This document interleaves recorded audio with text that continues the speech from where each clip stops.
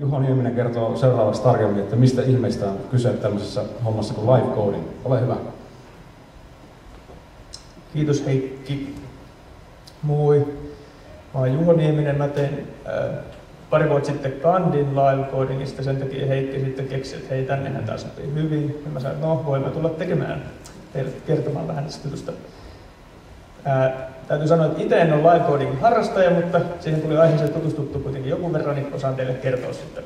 Tekin pääsette tutustumaan siihen. Ja tässä ei nyt ole tarkoitus pitää live coding esitystä, vaan semmoinen kertoo live codingista ja sitten vähän demovaisesti näyttää, mitä se voi tehdä. Niin, ja jos jollekin ei vielä tullut selväksi, mitä se on, niin live coding on äänen ja videon luomista ja tai muokkaamista reaaliajassa yleisön edessä.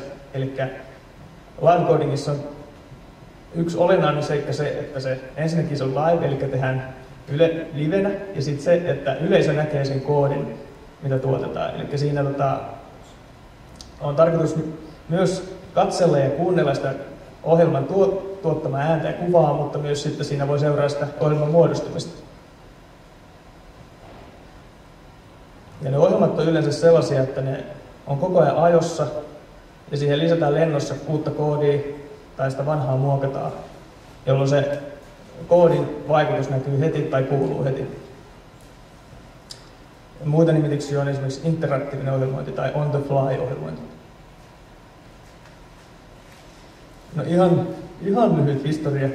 Eli ensimmäisiä tiedettyjä live esityksiä Ron Kuivilla 85 Amsterdamissa käytti Ford-kieltä.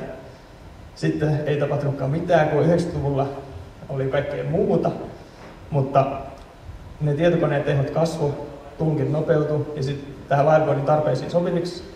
Ja 90-luvun lopulla ja 2000-luvun alussa alettiin sitten tekemään live Ja tuommoinen Top Lab Terrestrial Organization for the Purity of Live Art Programming perustettiin vuonna 2003, joka tarkoitus kerätä yhteen eri live yhteisöjä ja organisoida niille tapahtumia. Ja annetaan nyt vielä määritelmää tästä Wangin ja Kuukin mukaan. Eli P on ajattama ohjelma. Kirjoitetaan uusi koodinpätkä Gu ja lisätään se P, saadaan P pilkku. Ja muokataan ohjelman P-koodia, kun se on ajossa. Ja nämä voi tapahtua missä järjestyksessä vaan ei ole 1, 2, 3. Mm, TopLab-sivulta löytyy livecoding paradigmaa. Ja tässä on muutamia poimintoja sieltä. Eli tietojen pimittäminen on vaarallista, näyttäkää kuvaruutunne. Ohjelmat ovat instrumentteja, jotka voivat muuttaa itseään. Live coding ei ole, live codingissa ei ole kyse työkaluista, vaan algoritmeista ja algoritmit ovat ajatuksia. Moottorisaat on työkaluja. Ja sitten ei backupia. Se on, eli o, se esitys on sellainen kuin se on, kaikki ne virheineen. Ja monesti se esiintyjä ei edes voi tietää, mitä se tulee kuulostamaan, ennen kuin se itse kirjoittaa sen koodin ja kuulee sen, koska koodi on monesti niin monimutkaista ja se on niin paljon muuttujia, että sitä on niin vaikea ennakoida, mitä sieltä oikeasti tulee. Plus tekniset ongelmat. Ää, tässä on pari live kieltä ja ohjelmaa. Supercollider, Impromptu, D-Ruby, Packetfort, Fluxus ja noin kaksi viimeistä on videon ohjelmointia. Tuota Impromptua mä testasin kandissa ja myös Supercolliderin. Ja Impromptu oli mun mielestä siinä kaikista helposti lähestyttäviä kaikista parhaiten dokumentoitu aloittelijoille, mutta se on vain Macille, eli sen takia mä en ottanut sitä tässä. Ja se, minkä minä aion nyt esitellä, on Chuck, ja se on siis Macille, Linuxille ja Windowsille kaikille tehty ääniohjelmointikieli. Ja silloin voi tosiaan tehdä synteesiä, säveltämistä, esittämistä ja analyysiäkin nykyään. Siinä on vahvat ajoitukset, siinä on rinnakkaisuutta ja sitten on lennossa kirjoittava. Siinä on vaikka mitä ominaisuuksia, esimerkiksi tässä on nyt mainittu muutamia, tässä on monikanava ääni, MIDI, OSC eli Open Sound Control, HDI, Human Interface Device. Siinä on palveli-asiakasmalli, joka tarkoittaa sitä, että jos yhteiseen koneeseen pistetään pyörimään se virtual machine, niin sitten siinä voi olla vaikka viisi kaveria, jotka kaikki yhteydessä siihen samaan ja kaikki voi koodata sitä samaa ohjelmaa yhtä aikaa. Ja se on ihan oikea kieli, siellä on olioita, siellä on säikeitä, ja tämä ajanhallinta, niin mainitsin, siellä on duration-tyyppi ja time muuttujatyyppi, mitkä mitä käytetään paljon. Sitten siellä on tähän audio liittyviä unit generators, eli siellä on audio sisään ulos, oskillaattorit, filterit, efektit.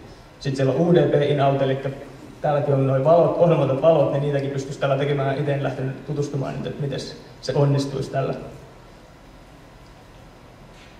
Ja se mitä te näette on mini joka on tehty Sakille tämmöinen graafinen käyttis. Eli olisin voinut myös ajella tässä komentorivillä tätä Jackia, mutta se on äh, demotarkoituksessa vähän hankalampaa, vaikka nyt kyllä selvisi, että tuossa ruudussa ei hirveästi näykään. Eli tämä mun ideani ei ehkä ollut toteutunut niin hyvin, mutta ei se mitään. Eli tuossa graafisessa ympäristössä se status sen olisi nähnyt helpommin siinä koko ajan, mutta nyt siihen ei oikeastaan mahdu muuta ruudulle kuin se koodi. Joo. Siinä meni hienosti viides minuutissa infot, ja nyt päästään näyttämään sitten, miten se oikeasti, miltä se oikeasti näyttäisi. Aloitetaan jollakin ihan simppelillä jutulla. Otetaan ihan uusi, ihan tyhjä. Onkohan mulla virtual machine käynnissä? Mä uskon, että se on. Käyntiin, no niin. Nyt meillä pyörii. Nyt päästään kirjoittamaan sitä koodia. Eli tota, aloitetaan ihan pistämällä tämmöinen sini-oskillaattori tänne.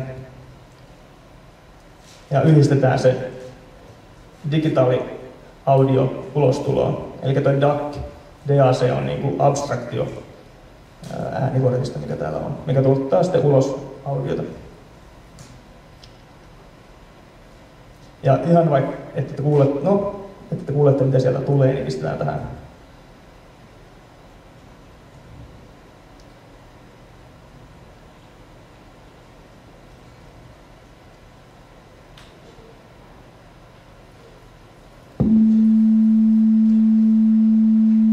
Siinä soi kolme minuuttia Sini Aalto.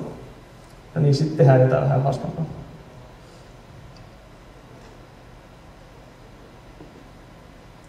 Chuckissa yleensä tehdään tällaisia tota,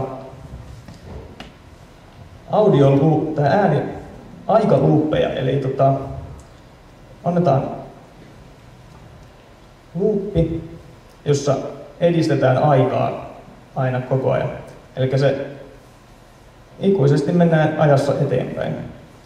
Ja sitten voidaan sanoa, että hei, otetaan tota, joku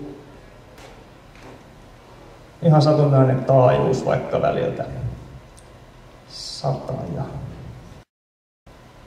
500. Ja isketään se siihen oskillaattorin kiinni.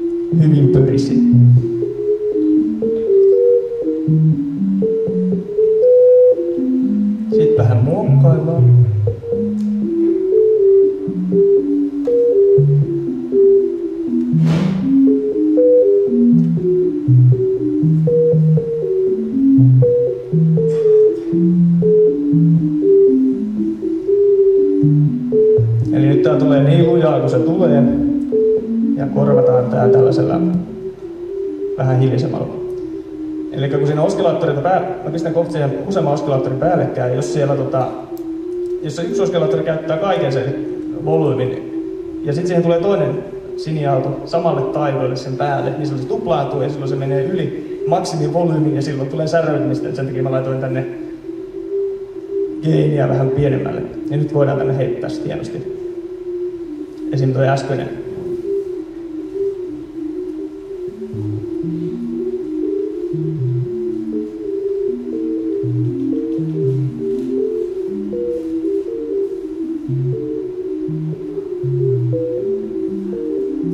Ja, mieli, tehdä mielenkiintoisempaa, eli käydä pelkkiä sinia-autoja, pistää tähän saha-autoon,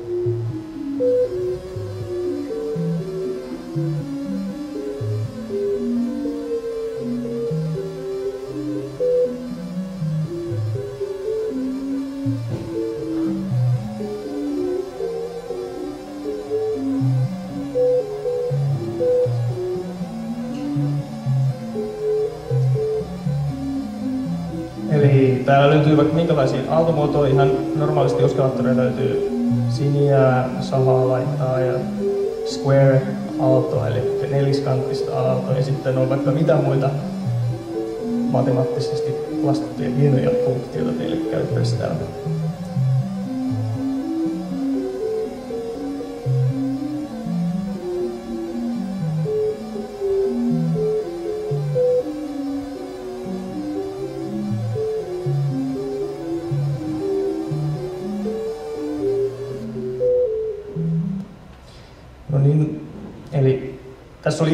Simppelisti, otettiin vaan siniaalto, iskettiin vähän randomiin ja sitten se kuulostaa tuolta, pistettiin päällekkäin ja se on yhtäaikaisia. Tässä oli niin simppeli kuin voi. Ja nyt sitten katsotaan vähän mitä, saako täältä vähän mielenkiintoisempia juttuja.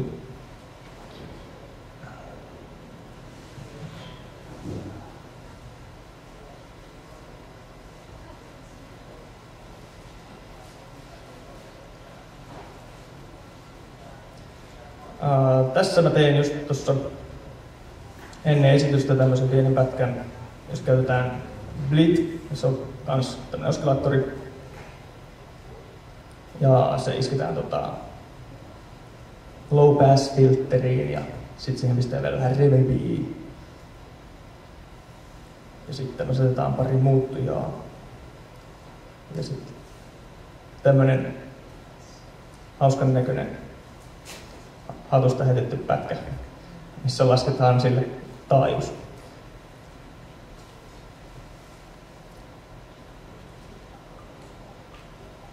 Se tulee näköjään niin hiljaa, että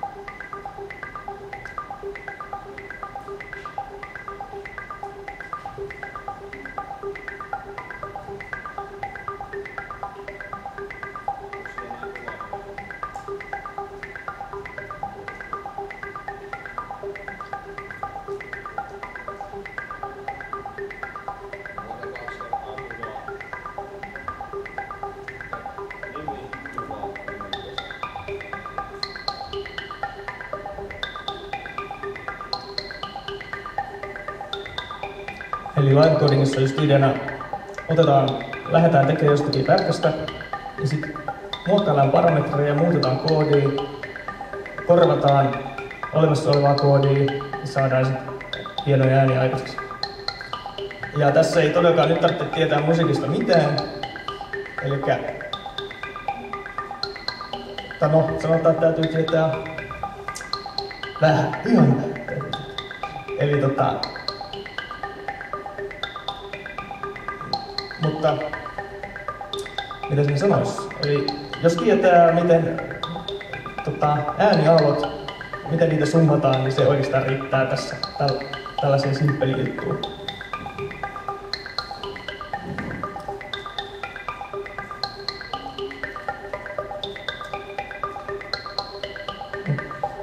Ja tässä chatissa löytyy esimerkkejä isoliulta. Voin tässä näyttää tulee mukana iso kasa esimerkkejä, mitä kannattaa käydä läpi. Niissä opetetaan tyyliin kaikki melkein, mitä täällä voi tehdä.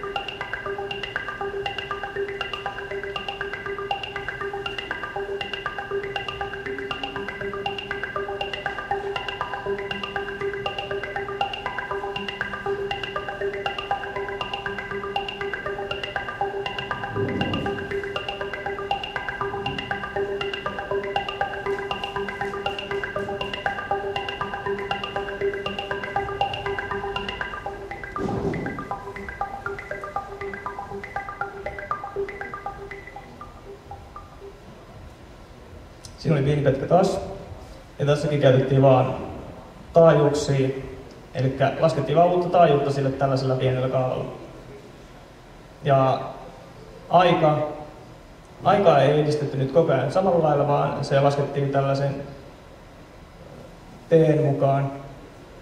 Ja se, mitä nuo kaikki eri säikeet äsken saatiin menee samaan rytmiin, oli tämän ansiosta. Eli mä synkkasin ne yhteen sekuntiin. Eli kun mä painoin, että lisätä säie, niin se ei läht, jos se oli kesken se kuluva sekunti, se meni seuraavaan sekuntiin. Eli se niin aina synkkäsi sen sekunnin tota, tempoa. Ja sen takia ne kaikki lähti yhtä aikaa soimaan. Jos siinä ei olisi tuollaista synkkausta, niin sitten siinä olisi tullut paljon enemmän tota, rikkonaisuutta siihen niihin piippauksiin. Ää, ja näytetään vielä, että miten minkälaista sitten, kun jos tietää nuoteista jotain, niin sitten mitä sitten saa aikaiseksi. Ää, tässä, on, tässä ei ole mun tekemä, mutta mä näytän tämän silti, koska tämä oli mielestäni aika hauska. Eli tässä on kolme sointua, jotka on merkitty vain niin, että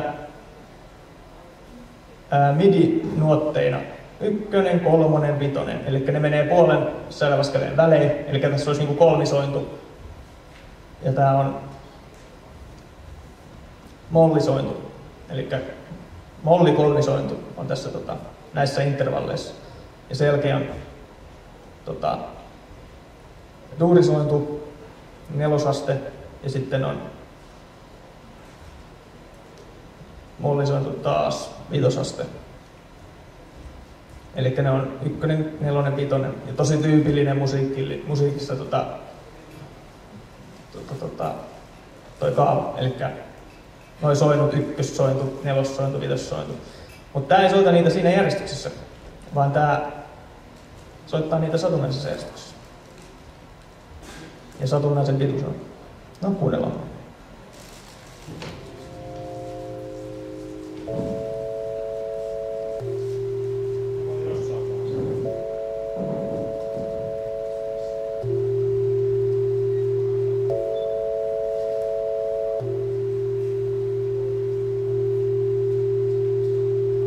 Tuossa on myös tehty äänenvaihtelu, eli se ottaa randomilla voimakkuuden ja sitten se kasvattaa sitä pikkuhiljaa sitä aloitussoinnusta lähtien.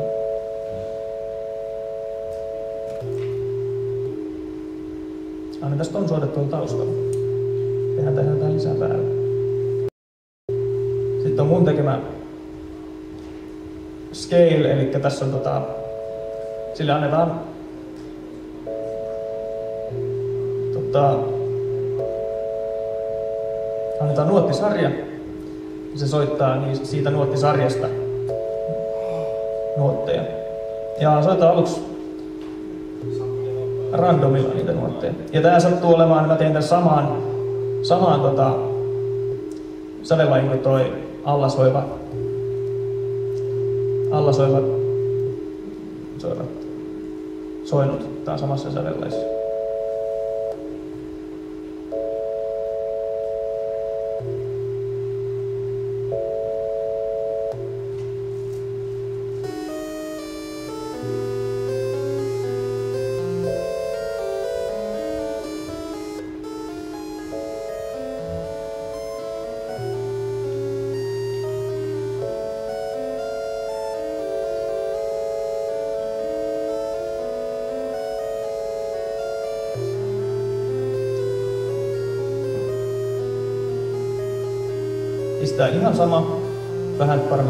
kadar. Bas.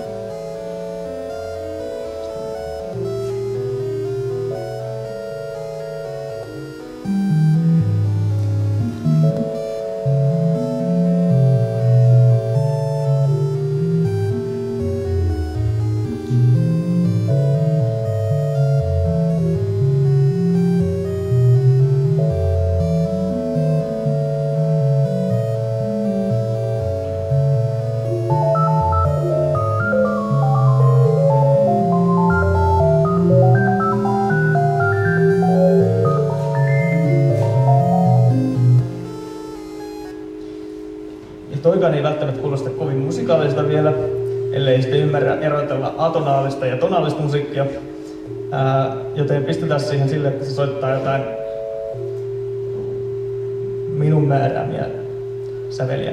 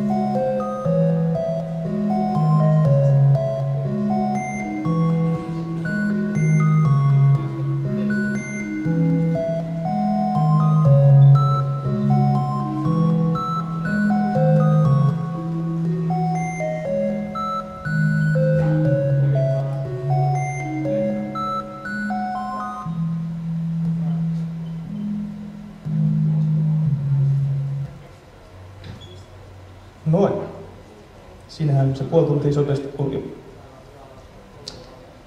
Mulla ei ole teille muuta, mutta voin laittaa tämän jonnekin, mistä voitte käydä katsoa näitä linkkejä. Tuossa on mun kandi.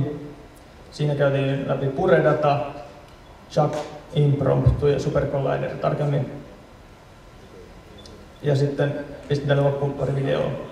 Et jos ei teillä ole mitään kysyttävää, voin näyttää teille hienon videon. Löytyykö kysyttävää? Onko Saak ilmanen?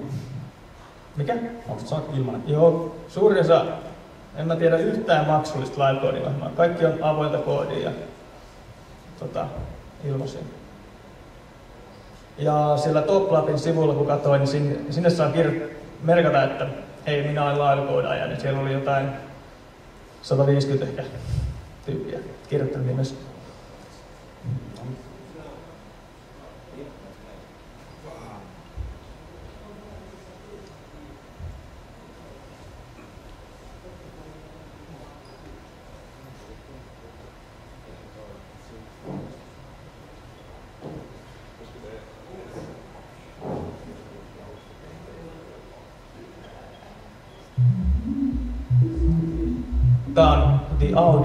Mikä on kans ton Chuckin kanssa toimiva ohjelma. Mutta tässä on paljon kaikkea muutakin kivaa.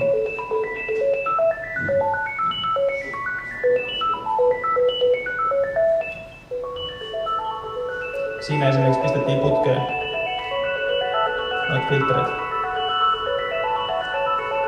Siinä monistettiin sitä samaa. Vähän visualisoidaan.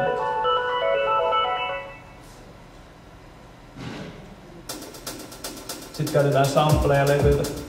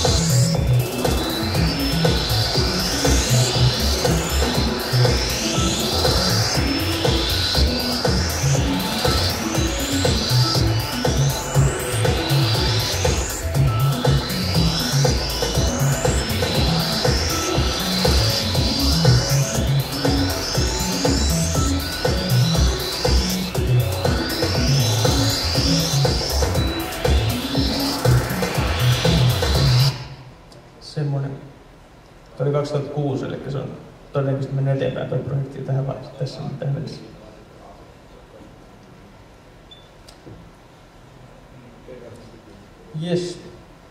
Kiitos.